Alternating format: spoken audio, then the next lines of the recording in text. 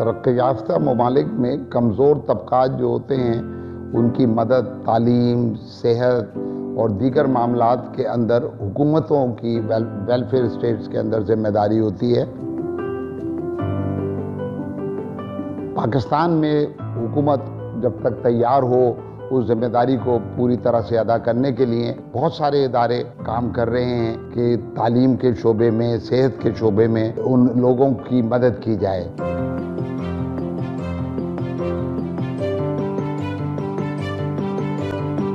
L ने भी यही बेड़ा उठाया है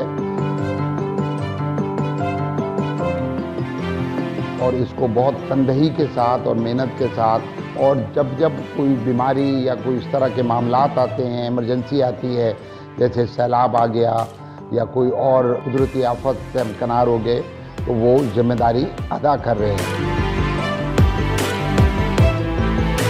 इसमें बहुत ही अच्छी तालीम भी दी जा रही है और बहुत अच्छा लोगों की सेहत का भी ख्याल रखा जा रहा है।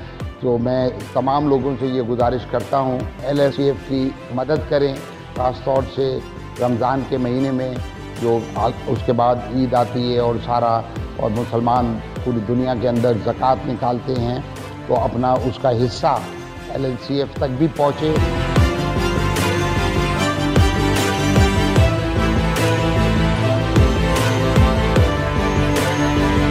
ताकि ये इसका काम बढ़े, क्योंकि इसके साथ मैं अरसे से वाबस्ता हूँ तो मैं इसका चशमदीद गवाह हूँ। कि यहाँ पर बहुत ही ज़िम्मेदारी से ये काम अदा किया जा रहा है, अमानतों का ख्याल रखा जा रहा है।